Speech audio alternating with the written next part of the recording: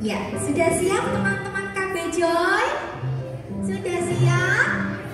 Sudah, oke. Yuk bangkit berdiri, kita akan saksikan sama-sama penampilan dari KB Joy.